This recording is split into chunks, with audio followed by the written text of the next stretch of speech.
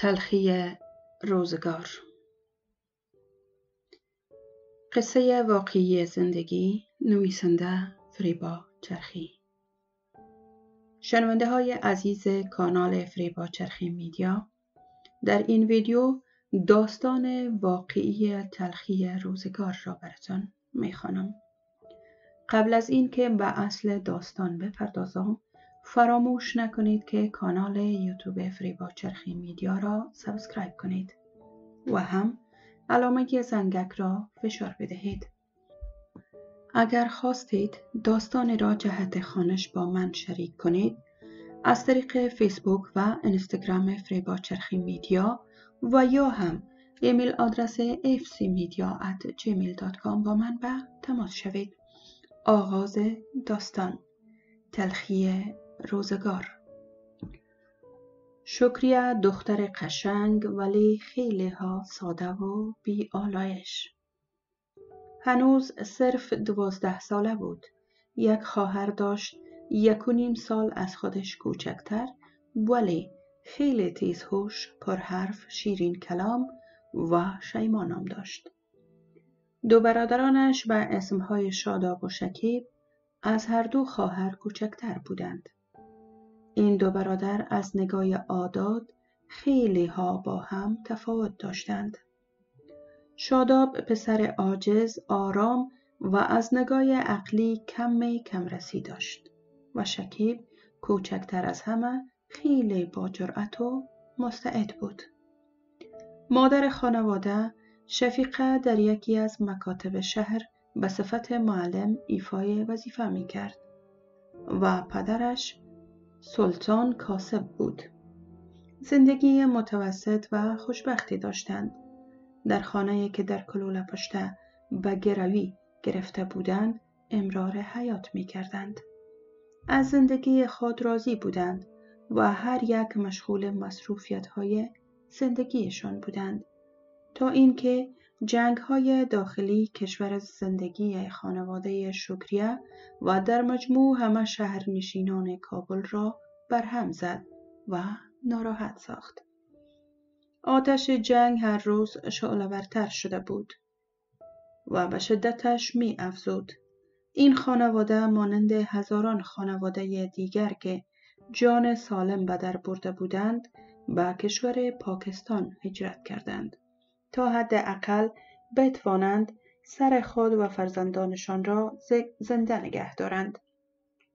زیرا همه روزه تعداد از کابلیان قربانی جنگ های داخلی و تنظیمی می شدند و به بیرحمی زیاد کشته و زخمی بودند.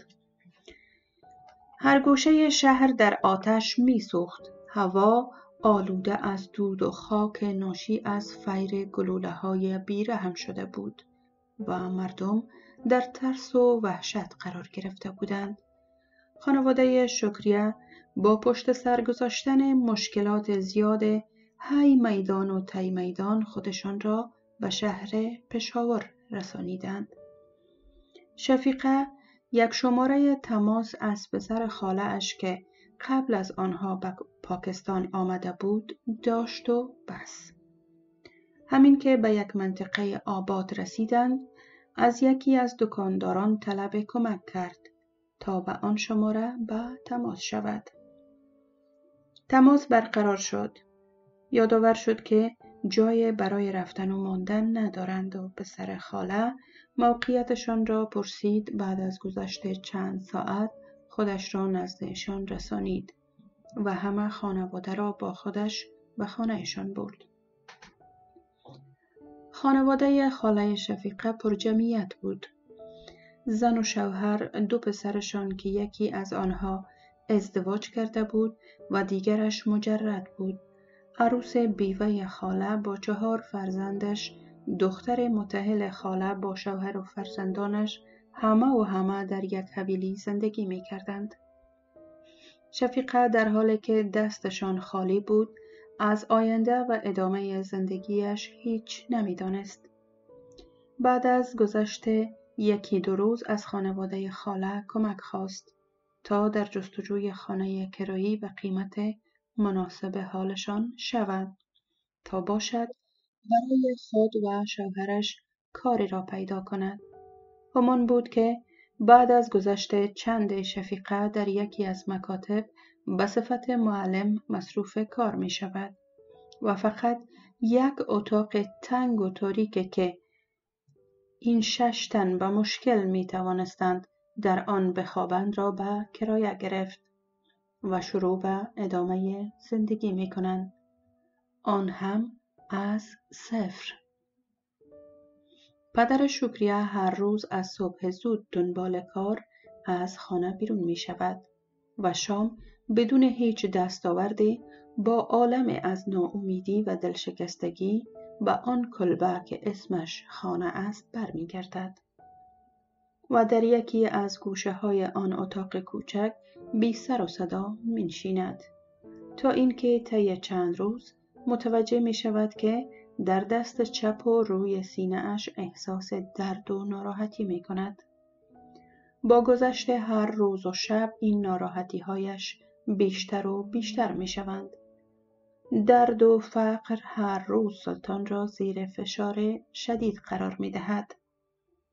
شفیقه که از این همه فشار روحی و جسمی و فقر شدیدن تحت تاثیر قرار دارد متوجه می شود که خانواده خاله دنبال پیدا کردن یک دختر برای پسرشان هستند و این طرف و آن طرف برای دیدن دختر برای نامزدی پسرشان سرگردانند. شفیقه با خودش تصمیم می‌گیرد که با پسر خالش در مورد نامزد کردن دخترش شکریه با او حرف بزند. چون وضعیت اقتصادی پسر خاله خوبتر است و شفیقه فکر می کند که اگر این کار را بکند ممکن پسر خاله از نگاه اقتصادی و مالی کمکشان کند. شفیقه این تصمیم را در حالی می گیرد که شکریه فقط سیزده سال دارد و تفاوت سینیش با جلیل پسر خاله مادرش پانزده سال است و بالاخره شفیقه تصمیم را که گرفته جامعه عمل می پوشاند و شکریه را در حالی که سلطان به خاطر تفاوت سنی و نیز خردسالی دخترش اصلا رضایت نداشت و جمیل نامزد کرد. همان طوری که شفیقه نزد خودش برنامه ریزی کرده بود جمیل در جریان نامزدی از نگاه مادی و معنوی به خانواده شکریه کمک می کند. یکی دو ماه بعد از نامزدی زمانی که همه خانواده شکریه در خانه خاله مهمان هستند نزدیک شام سلطان از جایش بلند شده و با عجله طرف حویلی می دود. همین که نزدیک آبرو حویلی می شود خیلی شدید خون استفراغ می کند و از هوش می رود. همه به کمکش می رسند. او دیگر حرکت پاهایش را از دست داده بود. و در بسیار زمان کوتاه از سمت چپ بدنش فلج شده بود. او را کشان کشان به سمت شفاخانه می برند. اما این تلاش ها و دویدن ها کارساز نمی شود و بعد از گذشته یک هفته سلطان با سکته قلبی که برایش رخ داده بود رخت سفر از دنیا می بندد. زندگی این خانواده تاریکتر از همیشه می شود.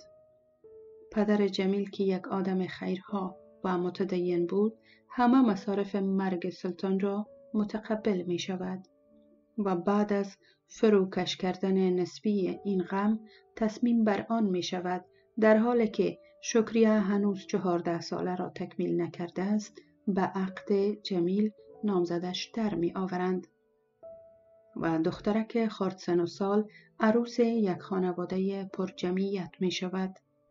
حالا دیگر شکریه عروس یک خانواده است. زنی یک مرد که باید همه مسئولیت های زندگی مشترکشان را عهدهدار باشد. شنونده های عزیز این بود قسمت اول داستان که تقدیمتان شد.